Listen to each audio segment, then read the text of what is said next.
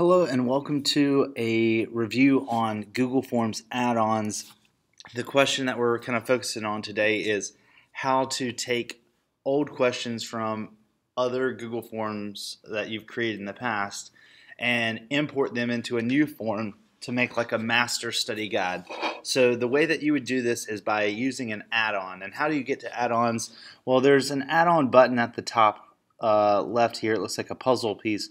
Or if you don't see that, then you're going to click the three-digit button that says More and then choose Add-ons here.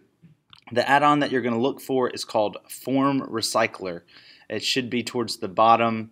Uh, it looks like a Pac-Man uh, that's uh, that's white and a form entering its mouth and then leaving its mouth. Um, as you can see, it says Manage in Mind because I've already added it to my page. Uh, so I'm going to click Add-ons here.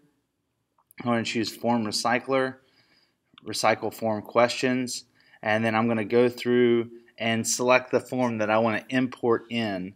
Uh, there's you know a variety of ones that you might use. It, it takes a second just to load because it's trying to figure out how many forms you actually have present.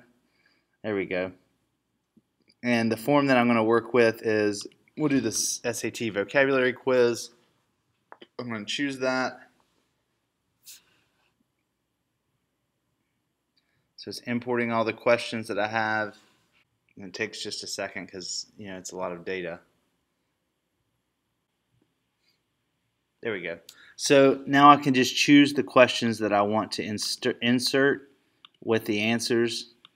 Mm, so let's say I want these particular ones.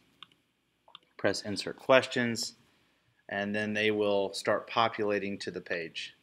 So now that I've done that, I can click out of here and you can see the questions that have been inserted. Now if I want to add more, then I just choose add on again, form recycler, choose the next um, recycle questions, uh, and then pick another set of documents and then upload that in as well.